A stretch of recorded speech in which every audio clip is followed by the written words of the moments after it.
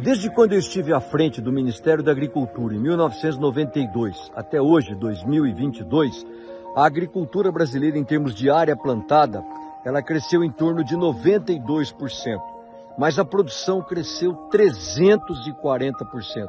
Isso mostra o quão eficiente é o campo brasileiro. E tudo isso foi fruto de muita tecnologia.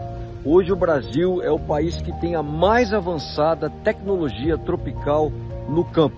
E essa é uma das razões que a gente pode explicar por que o Brasil talvez tenha uma das comidas mais baratas do mundo. E eu estou dizendo tudo isso para você entender um pouco o que é ser um agricultor brasileiro. Eu estou aqui, por exemplo, numa fazenda na Romênia. E a Romênia ela faz parte da comunidade econômica europeia.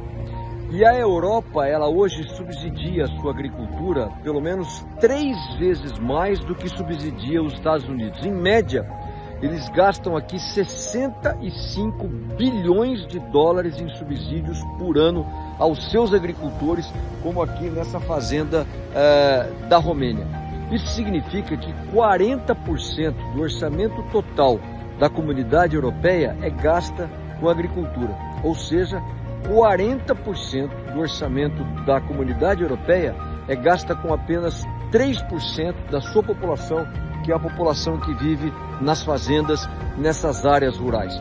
Isso mostra que para você conseguir competir com esse tipo de subsídio imenso que você tem aqui na Europa, como é o caso da Romênia, você tem que ser um agricultor muito competitivo, muito eficiente. Por isso que a gente brinca que a tecnologia hoje não é mais aquela tecnologia de sol a sol, mas é o trabalho de lua a lua, são 24 horas. E isso é para mostrar para você o que é o agro brasileiro. Nós temos que ser muito competitivos, muito tecnológicos, para que a gente consiga competir com uma fazenda como essa, que é altamente subsidiada, como é o caso aqui dessa fazenda na Romênia.